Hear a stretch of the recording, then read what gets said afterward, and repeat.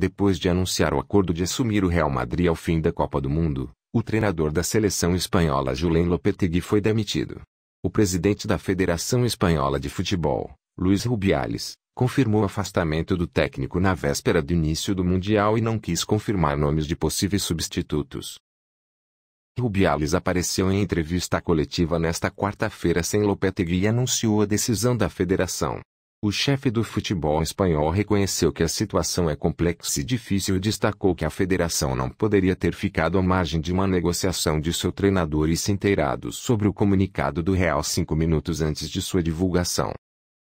Fiquei sabendo cinco minutos antes e pedi que não fizessem nada, com o comunicado do Real. Em cinco minutos, o vi na imprensa. Tivemos que reagir. Já passou. É uma situação difícil. Sei que, ajo que ouvir, vou receber críticas. A condução da seleção espanhola nos obriga a tomar algumas decisões, respeitar alguns valores. A negociação é legítima, mas foi feita sem qualquer informação à federação. É um dia difícil, frisou o presidente, que pediu apoio do povo espanhol na superação da crise em campo. O anúncio da saída de Lopetegui chega dois dias antes da estreia da Espanha na Copa da Rússia. Rubiales frisou que é um grande golpe que afeta a todos na seleção espanhola, inclusive os jogadores. O presidente não quis responder se os esportistas apoiaram a decisão. Não me sinto traído. Enquanto trabalhou, Lopetegui foi fiel. Outra coisa é como isso foi feito, o anúncio do acordo com o Real. Não podemos passar por alto. E Julen é um treinador impecável. Mas há uma forma de fazer as coisas que precisa ser respeitada, ressaltou o presidente Rubiales.